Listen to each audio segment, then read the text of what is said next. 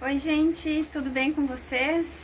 Hoje eu resolvi me apresentar. Vocês só conhecem a minha voz. Para quem não me conhece, eu me chamo Maria Tereza, mas me chamo normalmente só de Maria. Eu moro na cidade de Santa Cruz do Sul, no estado do Rio Grande do Sul. E hoje eu fiz um vídeo bem legal sobre regas, né, de orquídeas floridas.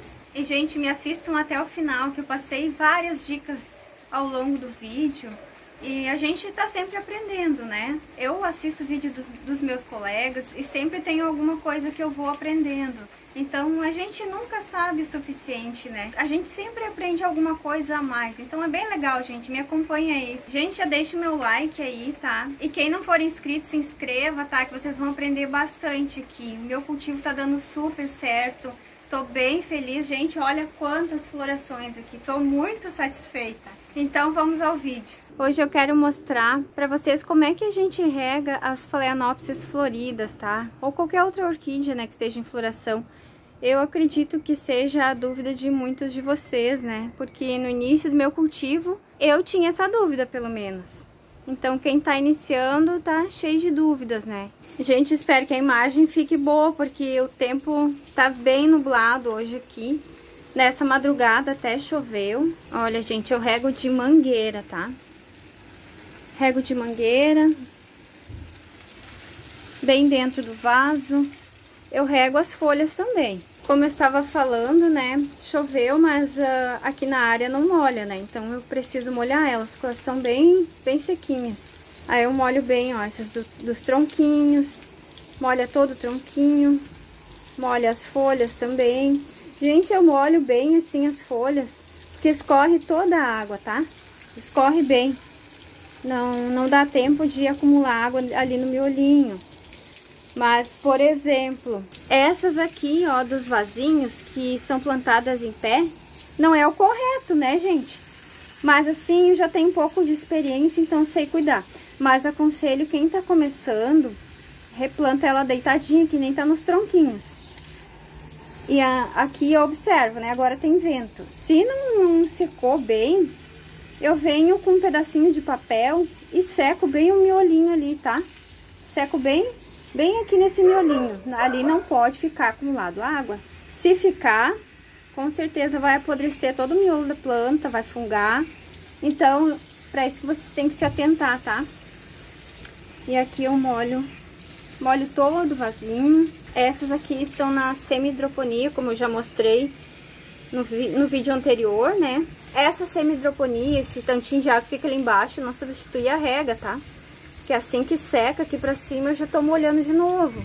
Porque os vasinhos são bem furados, então ventila bastante, né? Olha, gente, isso é um, um cultivo que dá muito certo. Pra quem tá iniciando, ó, uma dica muito importante, viu? Pra quem tá iniciando, replantar em tronquinho é a melhor coisa que tem, gente. Mas põe um esfagno, porque a Phalaenopsis, ela gosta de umidade. Não excessiva, mas na medida certa. Então, se vocês replantarem no tronquinho, assim que secou o esfagno, pode regar novamente, tá? É assim que eu procuro procuro tá fazendo. Ó, molha bem as folhas, ó, tá bem inclinadinha aqui. Maneira que eu mais gosto de replantar é assim, tá? Mas quando não dá, eu replanto ela em pezinho no vaso, como eu mostrei, mas o cuidado tem que ser redobrado. Tem que sempre secar o miolinho, se não se não tem muito vento. E aqui pega bastante ventilação, então, então seca bem rapidinho.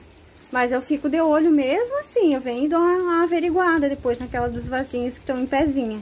E, gente, olha, molhar elas estando em floração é quase que inevitável que não vá pegar nas flores. É muito difícil. É, vai pegar um pouquinho sim, isso não tem como, tá? Não tem como. E, mas tem algumas assim que a floração dura bastante, né? Mesmo pegando água. E outras que dura bem menos. Eu tenho algumas assim, ó, que duram seis meses a floração, mesmo que, que pegue água.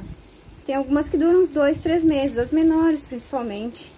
Então, gente, é inevitável. Quando a gente tem bastante assim, não tem como não, não molhar um pouco a floração. Eu procuro cuidar, mas mas sempre molha, né? E o bom de estar tá em tronquinho é que a gente sempre vê quando elas, quando elas secaram completamente. Aí é só regar novamente, não tem erro, gente. Quando eu iniciei, foi assim, em tronquinhos, que eu, que eu fui colocando, gente, não, não tem erro, dá certo, tá? A não ser que a orquídea já esteja doente ou morrendo pra, pra ela morrer mesmo. Senão, gente, elas vêm e às vezes nem sentem o replante. Porque põe o, o esfagno e elas não murcham aí. Porque fica sempre hidratada as raizinhas. Ó, essa daqui tá sem esfagno, mas aconselho a colocar sempre um pouquinho de esfagno, tá? É melhor, porque senão a orquídea ela sofre um pouco no início. Essas com o tempo até vou colocar um pouquinho, sabe? Porque é melhor. Quando a gente tem orquídeas, muitas orquídeas floridas, é inevitável que molhe um pouco, né? Mas se você tem poucas, é só molhar só dentro do vaso, né? Não precisa molhar a floração ainda, sabe? Retira ela ali do ambiente, molha com cuidado, né? E depois volta ela para um lugar, para a mesma posição que ela tava, né? Porque as orquídeas não gostam muito de ficar sendo mudadas de lugar, né? Quando a gente tira uma, põe de volta no mesmo, do mesmo jeito que ela estava. Olha, gente, vocês vão perguntar a cada quantos dias que eu molho minhas orquídeas. Gente, não, aqui pra mim não existe isso. Não existe regra para rega. É quando o substrato seca. Quando os tronquinhos enxugarem, seca.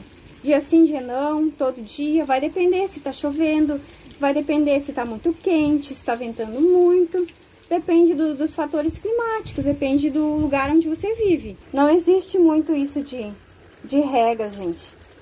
Ah, se for um substrato assim que tem que retém muita umidade, coloca o dedo bem dentro. Se sentir umidade, não molha, né? Não molha, tá? Quando você recém comprou um orquídea assim da floricultura, do supermercado, não fica só molhando, tá? Porque elas têm umas buchinhas bem no meio e aquilo ali retém muita umidade.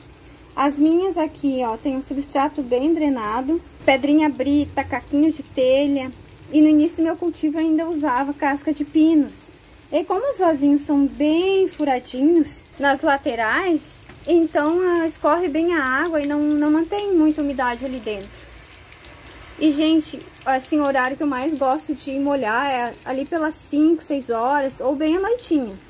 Eu tô regando hoje mais cedo, agora acho que é umas duas e meia da tarde porque tá bem nublado e eu queria fazer o vídeo também pra, pra mostrar pra vocês. É, então, gente, eu só queria fazer essa pequena demonstração. E se eu não me lembrei de falar alguma coisa no vídeo, vocês podem me perguntar aqui embaixo, que aos poucos eu vou respondendo.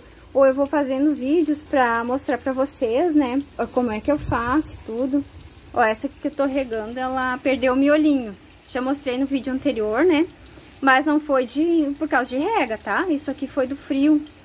Ela ficou assim uns 15 dias sem molhar e mesmo assim apodreceu o miolinho, porque é a parte mais sensível, né? E aí o frio cozinha. Então é, foi isso.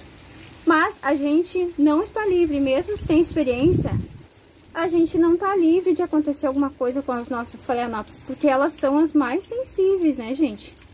Então todo cuidado é pouco. Ó, que nem essa daqui, por exemplo, eu vou molhar bem ela e depois eu inclino eu pego e inclino um pouquinho assim, ó, o vasinho pra escorrer, tá? Dou uma inclinadinha nele e é assim que, que eu faço. Então, gente, muito obrigada por terem me assistido até aqui. Espero que tenha dado pra vocês verem bem como eu fiz, tá? Fiquem com Deus e até a próxima. Beijo!